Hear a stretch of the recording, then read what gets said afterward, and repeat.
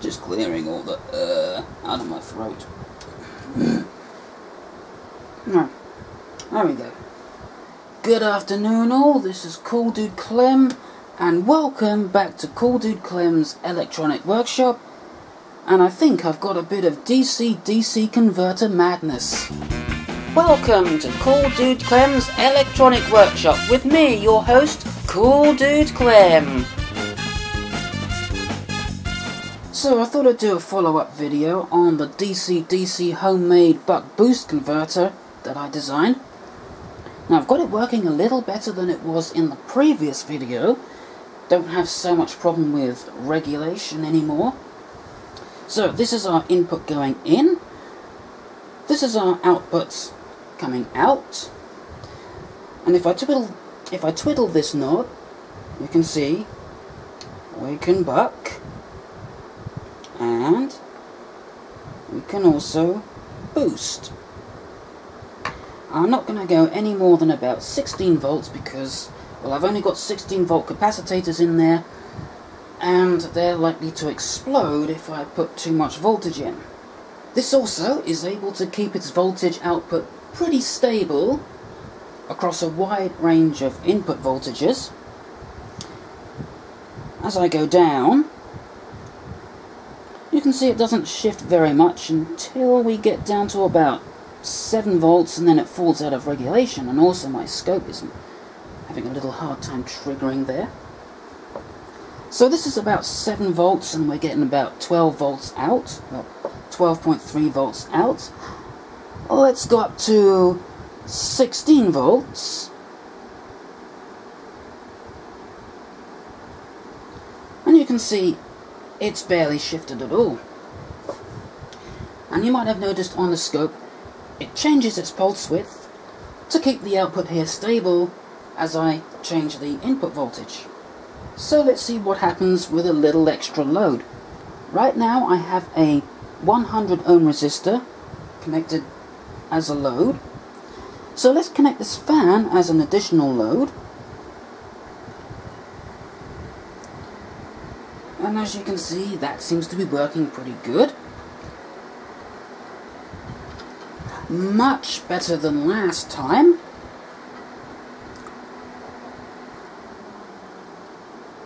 So I'm going to call this uh, pretty much a success, but not something I intend to use.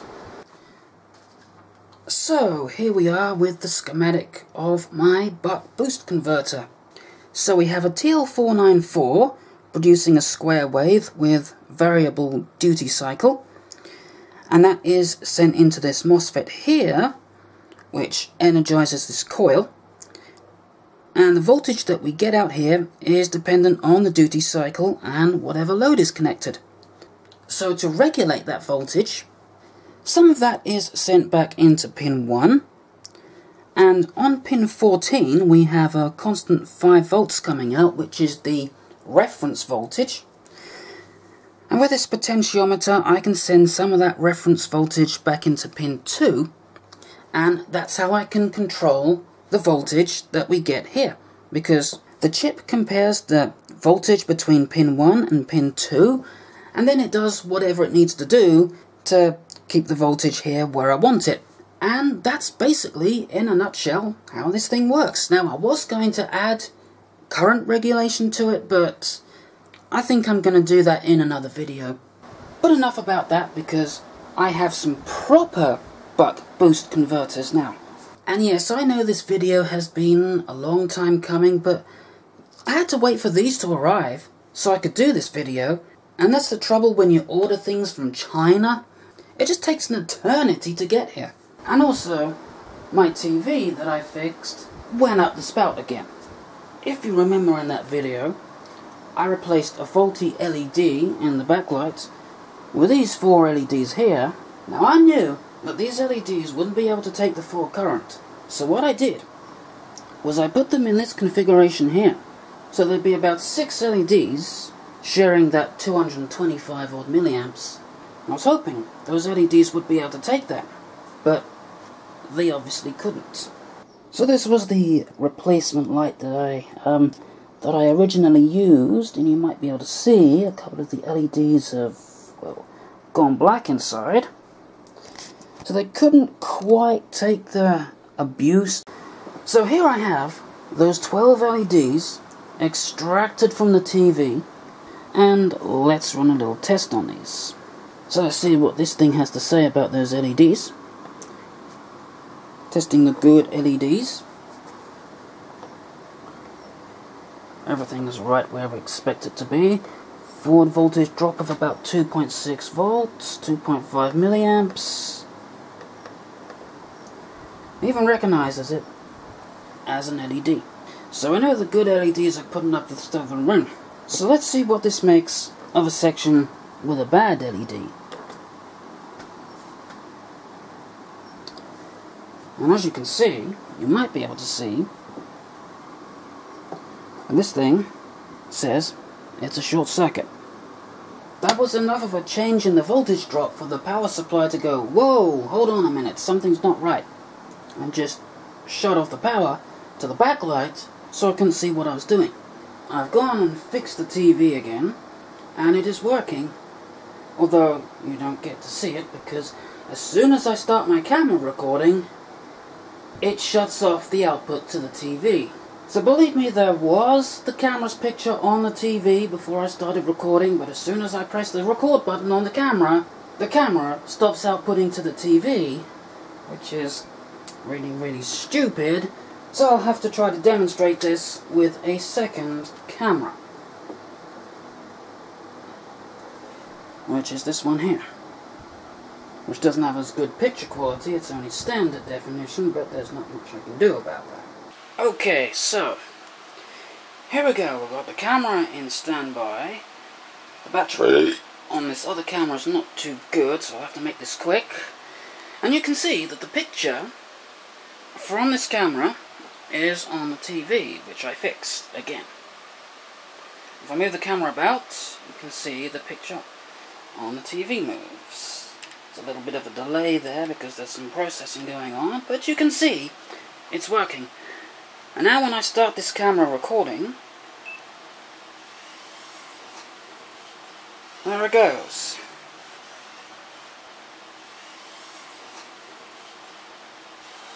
And when I stop this recording, picture comes right back, which is stupid. I mean, it's stupid the way this camera shuts off the picture to the TV when you start recording. I mean, I can still see it in the viewfinder just fine, but the thing is, having it on the TV makes it so much easier to set up the shot. You can get, you know, you can get the shot right, you can get the lighting right, you can get the focus right, you know, you can get everything right. But of course, you've no idea how that's coming out when it's recording. Anyway, to fix this TV, I got a microwave oven diode, and I used that to bypass that original broken LED. And I put that diode on the outside. That way, if the voltage drop across that diode isn't right, I can take that diode out, and I can easily replace it with another one that hopefully does have the right voltage drop. But fortunately, that first diode that I tried was, you know, just about right. Now, I know those microwave oven diodes aren't exactly known for high current capabilities, but I think they're like 300 milliamps, something like that. So I don't think 225 odd milliamps is to really be much of a problem. Anyway, back to the main attraction. That's not the only thing I ordered. I ordered some solder, proper solder that is, not that silly lead-free stuff. Some crocodile clip cables because I'm fed up with having to put wires everywhere and twist them around each other to make connections. So that's going to make things a lot easier. Speaking of cables, got some audio cables because again I've got hardly any way to connect up my equipment. The only ones I could really get were the ones with a jack plug on one side and the phono plugs on the other side. But, you know, I can splice these cables and make the cable that I want. Although, for most of the things I've got, these cables will be absolutely fine as they are. I also got some XLR plugs, both male and female, so I can connect up my DAT recorder properly. Lots of prototyping boards, so there'll be plenty of electronics projects to come. Some HDMI cables, so I can connect my camera to my TV. And I've got this little thing here, supposed to be a full HD capture, but it's actually quite disappointing, because although it's got the HDMI on one side, it doesn't have the full 1080 resolution, it's only 720 by 576 maximum, but I'm sure I can still find some uses for that. So I got all this from Banggood, and I didn't really cost me much more than about £30, which I guess is about maybe 40 US dollars. So, you know, pretty good deals there. So I'm definitely going to shop there again. Anyway, let's get on with the rest of the video. So, what I'm going to do is going to do a few experiments with these. We're going to take a look at some waveforms. See, what I want to do with these is make a kind of a switch mode power supply using these as the actual voltage regulators. So I'm going to take these trimmers out, these 10 turn trimmers, and use potentiometers instead that stick out of the front of the case so I can control the voltage that way. Also, another thing, and I'll probably do that in this video, is I want to reverse engineer these and try to make one myself, using off-the-shelf parts, such as a TL494 and other stuff. So anyway, let's get one of these connected up and let's see what it does. So, we've got one of these wired up to this little meter here. So, let's turn on the power and see what it does. Okay, we're getting about 22.9 volts out. So, let's just turn this little trim pot here and see if we can buck as well as boost. Okay, turning it counterclockwise makes the voltage go up. So turning it this way should make the voltage go down. And indeed it does. Okay, we are now bucking. I don't know quite how low we can go because we're kind of at the limit where this little meter stops working, so let's go up to about 12 volts. Good all round 12 volts. Okay, I now have the 100 ohm resistor, which has definitely seen better days. I have that connected across the output. So let's turn on Let's see if it stays the same. Yep, I think that was about the same as we had before. Now let's connect up our fan as the additional load. I'm not going to touch that resistor because it's probably baking hot right now, but... Oh, it does actually go down a little bit. I was not expecting that. So, I would say at the moment this is working pretty much as good as the one that I made. Well, let's have a look at some waveforms. Alright, now we're ready to have a look at some waveforms. Now I've done a little probing around and I found the output is on pin 3 and also we get that on the metal case of the chip right here. So let's just zoom in a little bit on the scope so we can see the waveform. Now according to the scope this is oscillating at about 800 kilohertz.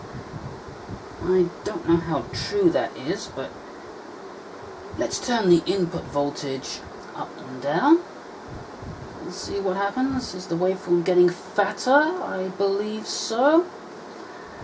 Let's turn the input voltage up and yeah, I can see the waveform getting thinner.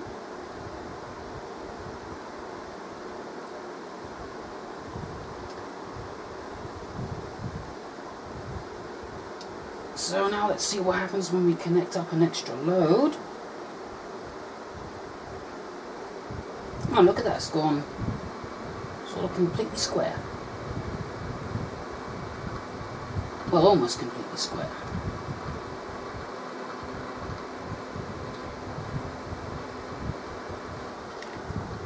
Alright, so I'm going to make this output just a little bit more voltage.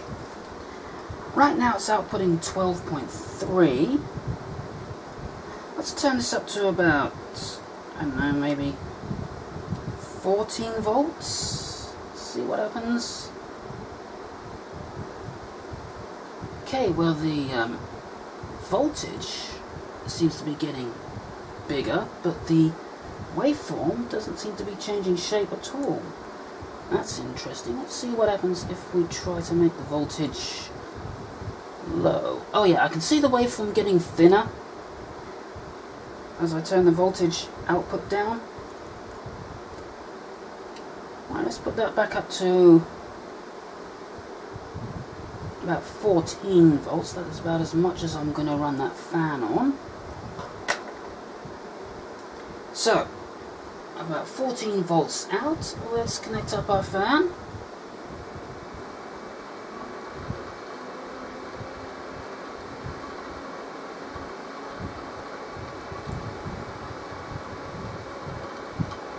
Yeah, I'd say that's working pretty good.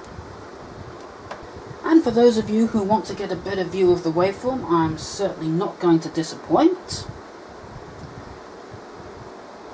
So this is what we had before. I'm going to turn that down. I'm going to turn the output voltage down. That is if I can keep my screwdriver in the little slot there. So you can see this is what happens to the wave when we go down in output voltage. And when I increase the output voltage, this is how the wave goes. Let's go back down to about 12 volts. Now I'm going to connect the fan so we have a little bit of additional load.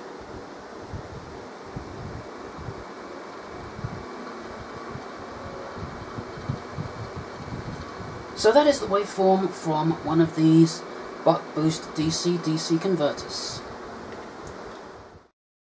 Okay, so I've done a bit of reverse engineering. I was just probing around with my meter. And alright, I'll stop talking in the funny accent.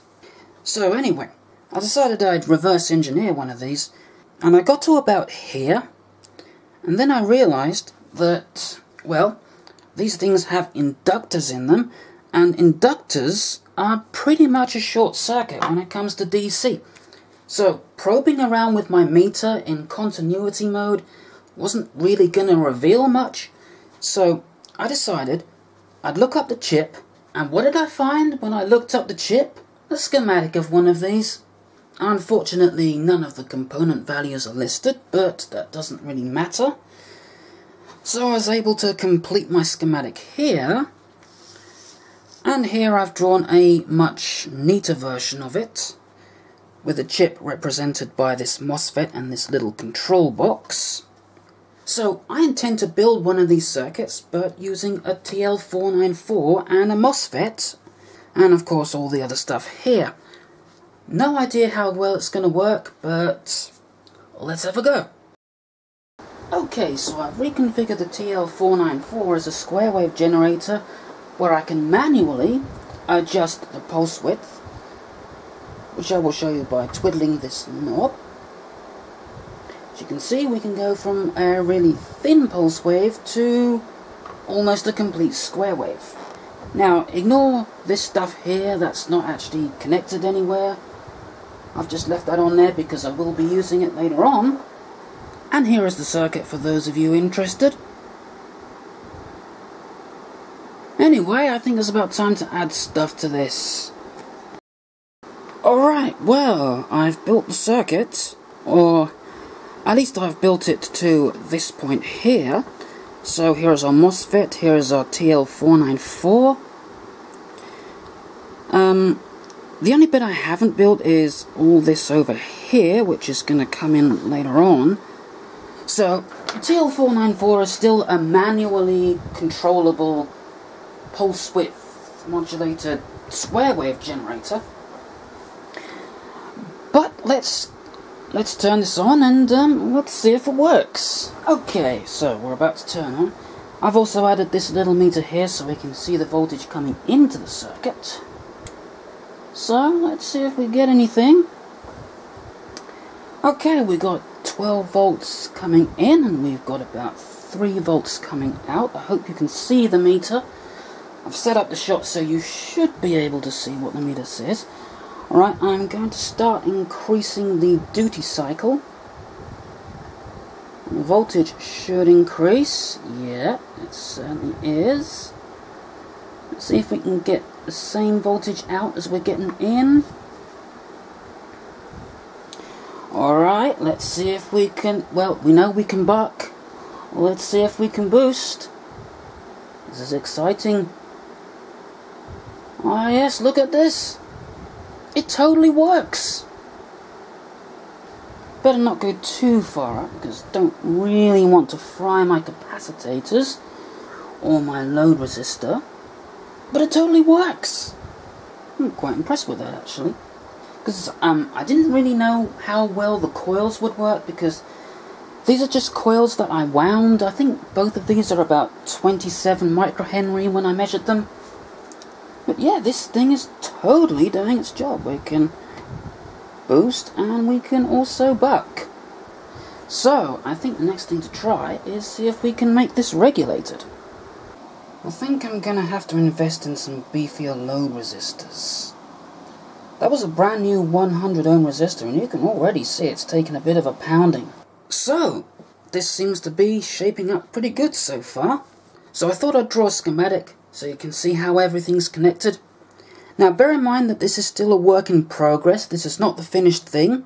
I wasn't sure if this was going to work with, you know, just an N-channel MOSFET, because I didn't know if maybe the, there was some other kind of magic voodoo going on in the chip.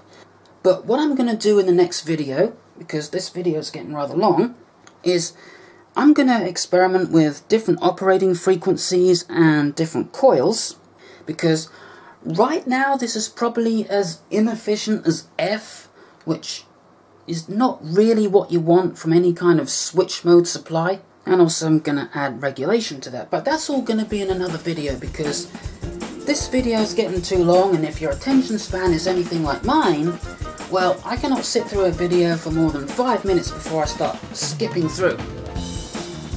Well, that's it for this episode of Cool Dude Clem's Electronic Workshop.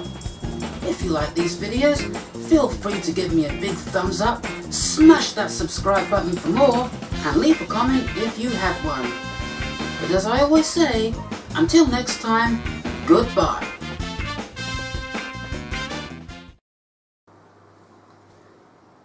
Why am I even recording this?